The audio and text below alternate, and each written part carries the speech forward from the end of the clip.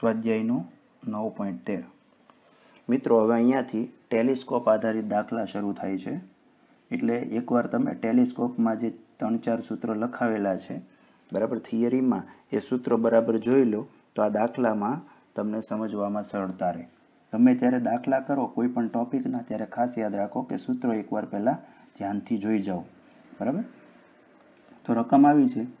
કે એક નાના ટેલિસ્કોપના ઓબ્જેક્ટિવની કેન્દ્ર લંબાઈ એક પોઈન્ટ ચુમ્માળીસ સેન્ટીમીટર અને આઈપીસની કેન્દ્ર લંબાઈ છ સેન્ટીમીટર છે. તો ટેલિસ્કોપની મોટવ શક્તિ તથા ઓબ્જેક્ટિવ અને આઈપીસ વચ્ચેનું અંતર શોધો. બરાબર? તો જો બે લેન્સની બંને લેન્સની કેન્દ્ર લંબાઈ આપેલી છે, ઓબ્જેક્ટિવની કેન્દ્ર લંબાઈ કેટલી આપી છે? એકસો ચુમ્માળીસ સેન્ટીમીટર. એટલે એફઓ આપણે લખી દઈએ એકસો ચુમ્માળીસ સેન્ટીમીટર. આઈપીસની કેન્દ્ર લંબાઈ આપી છે છ સેન્ટીમીટર. એટલે એફઈ લખી દઈએ છ સેન્ટીમીટર તો પહેલું શું પહોંચ્યું છે? ટેલિસ્કોપની મોટવ શક્તિ. બરાબર? એક નવી બાબત અહીંયા એ કહી દઉં કે ટેલિસ્કોપ માટે મોટવ શક્તિ લખ્યું હોય કે મોટવણી? બંને સરખું છે. બરાબર? ટેલિસ્કોપમાં મોટવણી અને મોટવ શક્તિ કંઈ પણ પૂછ્યું હોય તો એક આ ફિક્સ જ સૂત્ર આવશે. બરાબર? માઇક્રોસ્કોપમાં આગળ તમે સાદા લેન્સમાં જોયું છે કે મોટવણી મોટવ શક્તિ અલગ અલગ થતું હતું. એક સૂત્ર વી બાયુ આવતું હતું, એક સૂત્ર ડી બાયુ આવતું હતું. એટલે અહીંયા ટેલિસ્કોપમાં એ કન્ફ્યુઝન નથી, એ જરા જોજો. તો ટેલિસ્કોપની મોટવ શક્તિ અથવા મોટવણીનું સૂત્ર છે એફઓ બાય એફઈ બરાબર? ઓબ્જેક્ટિવની કેન્દ્ર લંબાઈ છે માઇપીસની કેન્દ્ર લંબાઈ. તો બંને આપેલી છે, જો એફઓ એકસો ચુમ્માળીસ એફઈ છ. એટલે મોટવણી આવશે ચોવીસ. અને ઓબ્જેક્ટિવ તથા આઈપીસ વચ્ચેનું અંતર પૂછ્યું હોય, તો થિયરીમાં મેં તમને ઓપ્ટિકલ લંબાઈ એલ એવું કીધું હતું.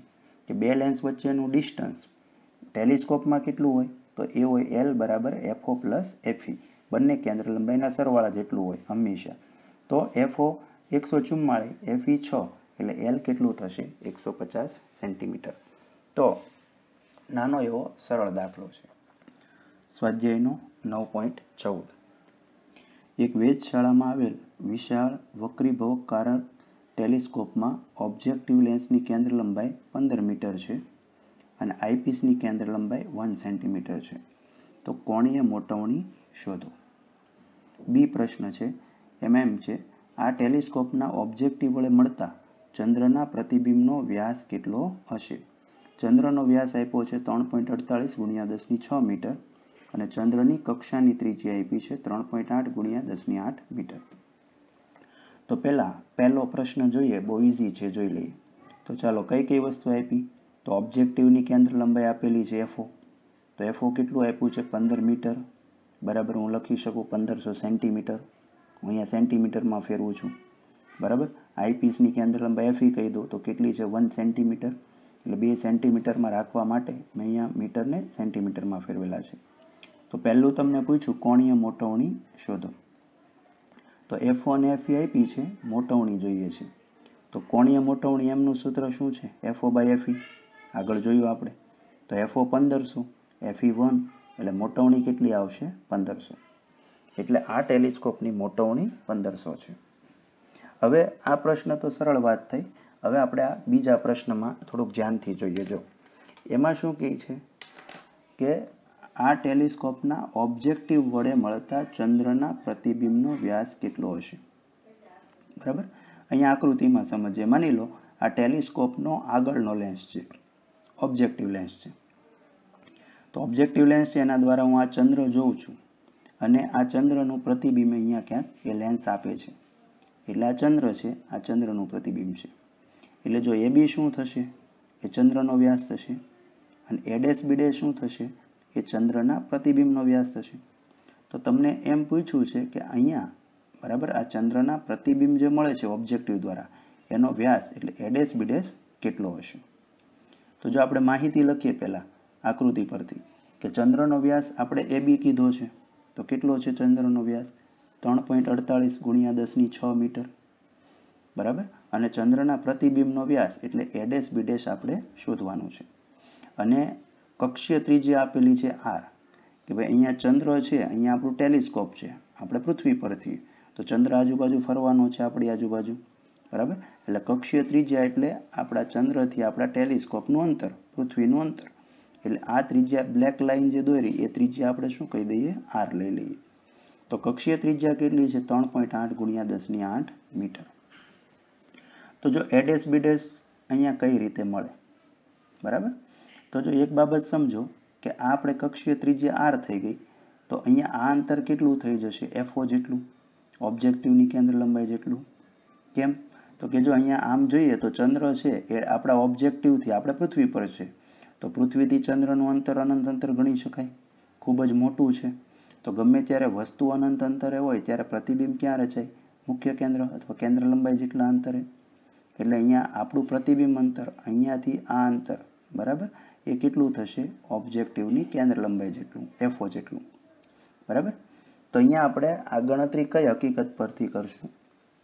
તો આપણી પાસે હકીકત એવી છે કે અહીં ચંદ્ર તથા ચંદ્રના પ્રતિબિંબે લેન્સના કેન્દ્ર આગળ આંતરેલો ખૂણો થીટા કેવો થશે સમાન? તમે કહી શકો કે જો અહીંયા ચંદ્રનો વ્યાસ છે, એ લેન્સના કેન્દ્ર આગળ કંઈ ખૂણો આંતરે છે. બરાબર? અને ચંદ્રનું પ્રતિબિંબ છે, એ ખૂણો આંતરે છે. તો અહીંયા જો બંને ખૂણા અભિકોણ બને છે, તો આ બંને સાઈડ ખૂણા કેવા હશે? સરખા. એટલે ચંદ્રએ અને ચંદ્રના પ્રતિબિંબે લેન્સના કેન્દ્ર આગળ આંતરેલો ખૂણો સરખો હશે. તો તમે શું કરો કે બે ખૂણા તમે વિચારીને સરખાવી દો? તો તમને આન્સર મળી જાય. અને આપણે વ્યાખ્યા કઈ વાપરશું? તો ખૂણાની રેડિયનમાં વ્યાખ્યા. આપણે ખૂણો સરખાવવો છે.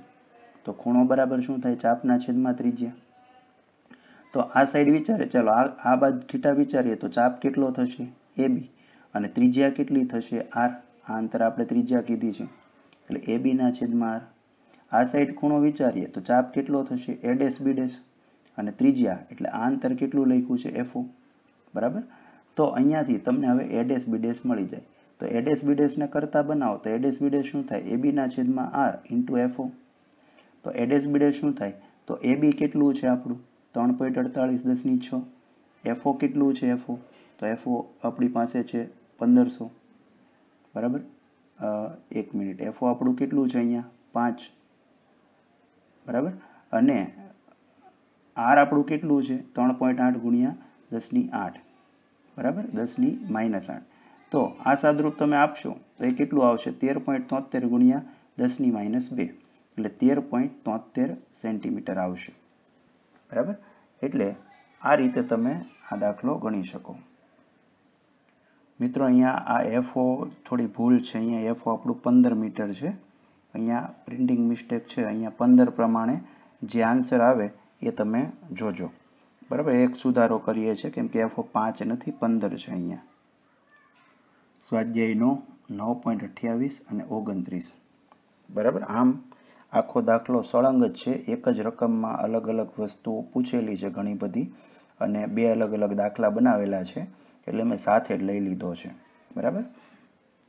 તો આવું છે. એક નાના ટેલિસ્કોપમાં એકસો ચાળીસ સેન્ટીમીટર કેન્દ્ર લંબાઈનો ઓબ્જેક્ટિવ અને પાંચ સેન્ટીમીટર કેન્દ્ર લંબાઈનો આઈપીસ છે. આ ટેલિસ્કોપની મોટવ શક્તિ એ જ્યારે ટેલિસ્કોપની સામાન્ય ગોઠવણી કરેલ હોય, એટલે કે અંતિમ પ્રતિબિંબ અનંત અંતરે મળતું હોય ત્યારે અને બી જ્યારે અંતિમ પ્રતિબિંબ નજીક બિંદુ અંતરે, એટલે કે પચીસ સેન્ટીમીટર અંતરે મળતું હોય, ત્યારે શોધો. બરાબર? હું બધા ઓપ્શન વાંચતો નથી. વન બાય વન બરાબર? કહેતો જાઉં છું અને સોલ્વ કરતો જાઉં છું. એટલે પાંચે પાંચ વસ્તુ તમારી નવ પોઈન્ટ અઠ્યાવીસ અને ઓગણત્રીસની આવી જશે. બરાબર? તો જો ટેલિસ્કોપમાં એકસો ચાળીસ સેન્ટીમીટર કેન્દ્ર લંબાઈનો ઓબ્જેક્ટિવ છે, એટલે એફઓ એકસો ચાળીસ સેન્ટીમીટર. પાંચ સેન્ટીમીટર કેન્દ્ર લંબાઈનો આઈપીસ છે એટલે એફી પાંચ સેન્ટીમીટર તો તમારે એની મોટવ શક્તિ જોઈએ છે. ક્યારે ક્યારે? કે જ્યારે ટેલિસ્કોપની સામાન્ય ગોઠવણ કરેલી હોય. એટલે કે અંતિમ પ્રતિબિંબ ક્યાં મળતું હોય? અનંત અંતરે. અને બીજી વાર એમ કીધું છે કે અંતિમ પ્રતિબિંબ નજીક બિંદુ એટલે કે પચીસ સેન્ટીમીટર અંતરે મળતું હોય. તો ટેલિસ્કોપની થિયરીમાં મેં આ બંને સૂત્રો તમને આપેલા છે. બરાબર યાદ કરાવી દઉં કે અંતિમ પ્રતિબિંબ અનંત અંતરે મળતું હોય. ત્યારે મોટવણીનું સૂત્ર શું છે? એફઓ બાય એફઈ આપણે જે એફઓ બાય એફઈ વારંવાર લખીએ છીએ, આગળના દાખલામાં મોટવણી લીધી, એ ક્યારે છે? અનંત અંતરે હોય ત્યારે. પણ જો આપણને અંતિમ પ્રતિબિંબ પચીસ સેન્ટીમીટર અંતરે મળતું હોય, નજીક બિંદુ જેટલા અંતરે મળતું હોય, બરાબર? તો મોટવણીનું સૂત્ર છે FO by FE કાઉન્સમાં one plus FE by D બરાબર? એટલે આ સૂત્ર યાદ રાખજો, તો તમે કિંમતો સીધી ભરી શકશો. તો અહીંયા એફઓ એફઈ કેટલું છે? એકસો ચાળીસ ભાગ્યા પાંચ કરું, તો એમ મળે અઠ્યાવીસ. એટલે અનંત અંતરે પ્રતિબિંબ મળતું હોય ત્યારે મોટવણી કેટલી છે? અઠ્યાવીસ. અને અહીંયા જોઈએ તો એફઓ એકસો ચાળીસ, એફઈ પાંચ, વન પ્લસ, એફઈ એટલે પાંચ, અને ડી કેટલું છે? નજીક બિંદુ પચીસ સેન્ટીમીટર. તો આનું સાદરૂપ આવે તો કેટલું આવશે? તેત્રીસ પોઈન્ટ છ મળી જાય મોટવણી. બરાબર? એટલે આ આન્સર એ થયો, આન્સર બી થયો. બરાબર? હવે નવ પોઈન્ટ ઓગણત્રીસની વાત. બરાબર? તો નવ પોઈન્ટ ઓગણત્રીસમાં પહેલો પ્રશ્ન તો એમ પૂછ્યો છે. અહીંયા આમાં લખેલો નથી, પણ તમે એમાં રકમમાં જોશો તો નવ પોઈન્ટ ઓગણત્રીસમાં એમાં એવું લખેલું છે કે તમારે બે લેન્સ વચ્ચેનું અંતર પણ શોધવાનું છે. બરાબર જે અહીંયા લખાયેલું નથી રકમમાં. તો જો તમને અહીંયા બે લેન્સ વચ્ચેનું અંતર પૂછ્યું હોય ટેલિસ્કોપમાં, તો એલ બરાબર સૂત્ર શું છે? એફઓ પ્લસ એફઈ તો એફઓ એકસો ચાળીસ એફઈ પાંચ. એટલે કેટલું છું એકસો પિસ્તાળીસ સેન્ટીમીટર. એટલે ટેલિસ્કોપમાં બે લેન્સ વચ્ચેનું અંતર પૂછે તો એફઓ પ્લસ એફઈ કરવાનું થાય. હવે આ આન્સર લઈએ સી. બરાબર? તો જો શું રકમ છે? તો તમને એમ કીધું કે આ ટેલિસ્કોપનો ત્રણ કિલોમીટર દૂર આવેલા સો મીટર ઊંચાઈના ટાવરને જોવા માટે ઉપયોગ કરવામાં આવે.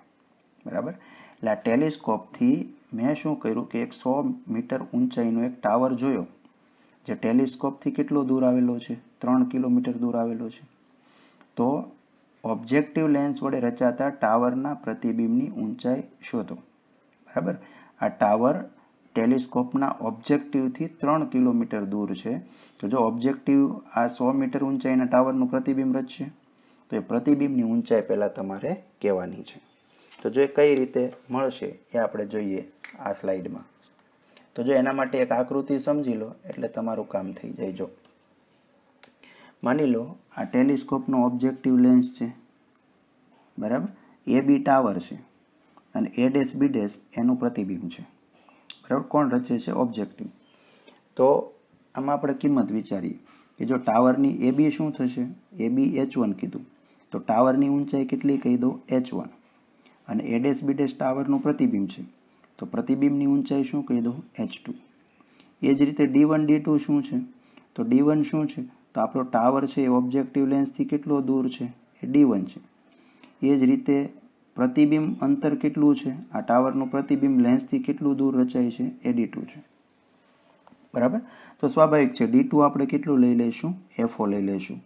ઓબ્જેક્ટિવની કેન્દ્ર લંબાઈ જેટલું. કેમ? તો કે વસ્તુ અહીંયા ત્રણ કિલોમીટર અંતરે છે ટાવર. એટલે એ લગભગ અનંત જ ગણાય લેન્સ માટે. તો પ્રતિબિંબ ક્યાં રચાશે? એની કેન્દ્ર લંબાઈ જેટલા અંતરે, એટલે કે એફઓ જેટલા અંતરે. તો જો આકૃતિ પરથી આ બાબતો હું લખી શકું.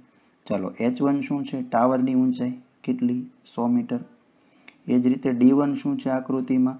તો ડી વન છે ટાવરનું લેન્સથી અંતર, એ કેટલું છે આ ડી વન ત્રણ કિલોમીટર. એટલે મીટરમાં લાવું, તો ત્રણ હજાર મીટર. એ જ રીતે એચ ટુ કેટલું છે?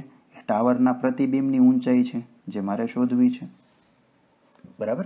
અને ડી ટુ કેટલું છે? એ એફઓ છે. તો આ દાખલો આપણે કઈ રીતે ગણશું? તો જે આપણે ચંદ્રના પ્રતિબિંબ માટે ગણ્યું, એ જ સેમ ટુ સેમ અહીંયા લઈ શકીએ. તો અહીંયા આપણે એમ કહી શકીએ કે ટાવર અને એના પ્રતિબિંબે લેન્સના કેન્દ્ર આગળ આતરેલો ખૂણો કેવો હશે? સમાન હશે. કે અહીંયાથી તમે એંગલ બનાવશો લેન્સના સેન્ટર પાસે, તો આ એંગલ કેવો થશે? સરખો થશે. બંને અભિકોણો દેખાય છે. તો બંને ખૂણા તમે સરખાઈ દો. અને ખૂણાની વ્યાખ્યા કઈ લેશો તો ખૂણો બરાબર ચાપ ભાગ્યા ત્રિજ્યા રેડિયનમાં. અથવા એમ ન લેવું હોય તો સીધું બંને ત્રિકોણમાં ટેન થીટા લઈ લો અને ટેન થીટાને સરખાવી દો. બરાબર? તો જો અહીંયા એંગલ ટેન થીટા કેટલો થશે? H one by D one અહીંયા ટેન થીટા કેટલો થશે? H two by D two તો H one by D one બરાબર H two by D two મારે શું જોઈએ છે? એચ ટુ તો એચ ટુને કરતાં બનાવો. તો શું થાય? H one by D one into D two હવે વેલ્યુ આપણે મૂકીએ. તો એચ વન કેટલું છે? સો. ડી વન કેટલું છે? ત્રણ હજાર મીટર. ઇન્ટુ ડી ટુ આપણે કેટલું કીધું? એફઓ તો એફઓ એટલે ઓબ્જેક્ટિવની કેન્દ્ર લંબાઈ. એ આપણી કેટલી છે? એકસો ચાળીસ. બરાબર? તો એચ ટુ કેટલું આવશે? ચાર પોઈન્ટ સડસઠ સેન્ટીમીટર. એનો અર્થ સો મીટર ઊંચાઈનો ટાવર છે. એનું ઓબ્જેક્ટિવ દ્વારા પ્રતિબિંબ કેટલું રચાશે? ચાર પોઈન્ટ સડસઠ સેન્ટીમીટર. એટલે આ બાબત તમારી સ્પષ્ટ થઈ ગઈ. હવે હજી એક ક્વેશ્ચન જે આપણો પૂછેલો છે એ, બરાબર? શું પૂછ્યું છે? કે ટાવરનું અંતિમ પ્રતિબિંબ પચીસ સેન્ટીમીટર અંતરે રચાતું હોય અથવા મેળવવામાં આવે, તો પ્રતિબિંબની ઊંચાઈ શોધો. બરાબર? અંતિમ પ્રતિબિંબ ક્યાં મેળવવાનું છે હવે? પચીસ સેન્ટીમીટર અંતરે મળતું હોય. બરાબર? તો આપણને પ્રતિબિંબની ઊંચાઈ પૂછી છે. તો તમે હજી અહીંયાથી આગળ વિચારો. કે ભાઈ આ આપણો ઓબ્જેક્ટિવ લેન્સ છે, એટલે હવે આપણો અહીંયા એના પછી કયો લેન્સ આવવાનો છે? આઈપીસ આવવાનો છે. તો ઓબ્જેક્ટિવ લેન્સ છે, એનું જે આ પ્રતિબિંબ હતું આપણું, ચાર પોઈન્ટ સડસઠ સેન્ટીમીટરનું તો આઈપીસ પાછું એનું કોઈ પ્રતિબિંબ અહીંયા આપશે? તો આઈપીસ એનું આ પ્રતિબિંબ કેટલું રચે, કેટલી હાઇટનું રચે, એવું પૂછ્યું છે. તો જો ગણીએ, બરાબર? અંતિમ પ્રતિબિંબ પચીસ સેન્ટીમીટરે મળે છે. તો આપણે શું કરીએ કે આઈપીસ માટે લેન્સનું સમીકરણ લખીએ. તો આઈપીસ માટે સમીકરણ શું થાય લેન્સનું? One upon V minus one upon U બરાબર વન અપોન એફી બરાબર? જ્યાં યુ અને વી શું છે? એ વસ્તુ અંતર અને પ્રતિબિંબ અંતર છે. કોના માટે? આઈપીસ માટે. અને એફઈ શું છે? એ આઈપીસની કેન્દ્ર લંબાઈ છે. તો આપણે યુ વિચારીએ. તો વન અપોન યુ શું થાય? One upon V minus one upon F તો વી અને એફઈની કિંમતો આપણી પાસે છે. વી આપણું કેટલું થશે? માઇનસ પચીસ. અંતિમ પ્રતિબિંબ આપણે કેટલું મેળવવું છે? પચીસ સેન્ટીમીટર અંતર એમ કીધું છે. અને સંજ્ઞા પ્રણાલી લઈએ તો અહીંયા માઇનસ પ્લસ લખી દઈએ. તો આપણને ખબર છે આઈપીનું અંતિમ પ્રતિબિંબ અહીંયા ક્યાંક મળે? આ સાઈડ માઇનસ સાઈડ મળે. તમે ટેલિસ્કોપની આકૃતિ જુઓ તો તમને ખ્યાલ આવી જાય ક્યાં છે અંતિમ પ્રતિબિંબ. તો વી કેટલું છે? માઇનસ પચીસ. અને એફઈ આઈપીસની કેન્દ્ર લંબાઈ તો આપણે પ્લસ પાંચ લઈશું. બહિર્ગોળ લેન્સ છે એટલે. તો વી અને એફઈ મૂકો તો યુ તમને કેટલું મળશે? માઇનસ ચાર પોઈન્ટ સોળ સેન્ટીમીટર. એટલે આઈપીસ માટે વસ્તુ અંતર તમને ક્લિયર થશે. હવે વસ્તુ અંતર આપણે શા માટે જોયું? તો ભાઈ જો મારે તો મોટવણી જોઈએ છે આઈપીસની બરાબર? તો આઈપીસની મોટવણી એમ વડે દર્શાવું. તો મોટવણીનું સૂત્ર શું થાય? વી બાય યુ લેન્સ માટે, બરાબર? તો વી અને યુ છે, જો વી કેટલું છે? માઇનસ પચીસ અને યુ કેટલું છે? માઇનસ ચાર પોઈન્ટ સોળ. એનો મોટવણી કેટલી મળી ગઈ? છ. તો આપણી પાસે આઈપીસની મોટવણી ક્લિયર થઈ ગઈ. તો જો આઈપીસની મોટવણી બરાબર આપણે લખી શકીએ એચ ડેસ બાય એચ, પ્રતિબિંબની ઊંચાઈ ભાગ્યા વસ્તુની ઊંચાઈ, અને એ કેટલી છે? છ. તો જો અહીંયા એચ ડેસ બરાબર શું થાય? Six H. બરાબર? તો અહીંયા કિંમત મૂકીએ તો સિક્સ એચ. એચ આપણે કઈ લઈશું? આ ચાર પોઈન્ટ સડસઠ. બરાબર? તો આ ચાર પોઈન્ટ સડસઠની પ્રતિબિંબ આઈપીએસ કેવડું રચે એ આપણે જાણવું છે. એટલે આપણી વસ્તુની ઊંચાઈ એચ કેટલી થશે? ચાર પોઈન્ટ સડસઠ થશે. તો ઇન્ટુ સિક્સ કરવું એટલે કેટલા થાય? અઠ્યાવીસ પોઈન્ટ ઝીરો બે સેન્ટીમીટર. એટલે આ જે ફાઇનલ છે એ અઠ્યાવીસ પોઈન્ટ ઝીરો બે સેન્ટીમીટરનું મળે.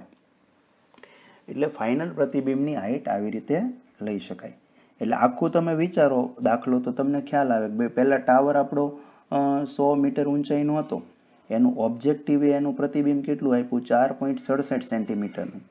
હવે એ ચાર પોઈન્ટ સડસઠ સેન્ટીમીટર આઈપીસ દ્વારા પ્રતિબિંબ રચાશે એટલે એ પાછું કેટલું થાય છે? અઠ્યાવીસ પોઈન્ટ ઝીરો બે સેન્ટીમીટર થાય છે. તો આખી બાબત આવી રીતે થાય છે. એટલે આ સાથે આપણા બરાબર કિરણ પ્રકાશ શાસ્ત્રના બધા દાખલા પૂર્ણ થાય છે. બરાબર? અંતે તમને પાછું એકવાર કહી દઉં છું કે દાખલા થોડા કન્સેપ્ચ્યુઅલ છે. થોડા ક્યારેક ક્યારેક અમુક દાખલા મથાવે એવા પણ છે. એટલે કોઈ પણ જાતનું ટેન્શન કે ગભરાયા વિના જેટલું આવડે એટલું બરાબર સમજાય એટલું સમજવાનો પ્રયત્ન કરશું. આમાં કંઈ છે નહીં, કોઈ અઘરી વસ્તુ કે એવું નથી. પણ સામે સામે બેસીએ તો આ બધી વસ્તુ સોલ્વ થાય વીડિયો લેક્ચરમાં ન થાય. એટલે જેટલું કંઈ પણ હોય તો એ તમે લખતા જજો, તૈયાર રાખજો અમારા માટે. જ્યારે પણ મળશું, ત્યારે તમને બહુ ઝડપથી તરત આ વસ્તુ મગજમાં બેસી શકે. પણ જો તમે આ વીડિયો લેક્ચર ધીરજથી જોયા હશે તો બરાબર? થોડુંક નથી આવડતું તમે મૂકી દીધું કે હવે તો આમાં તો કંઈ ખબર નથી પડતી પ્લસ ને માઇનસ ને બધું બાઉન્સ જાય છે. કંઈ નહીં, અંદર હું ચોખવટ કરતો જ ગયો છું. જ્યાં જ્યાં લીધું ત્યાં. જેટલું મગજમાં બેસે એટલી ટ્રાય કરવાની, બાકીનું સ્કીપ કરીને ત્યાં લખી દેવાનું. કંઈ નહીં, ચાલો આ આવી રીતે કંઈક આ પૂછવાનું છે.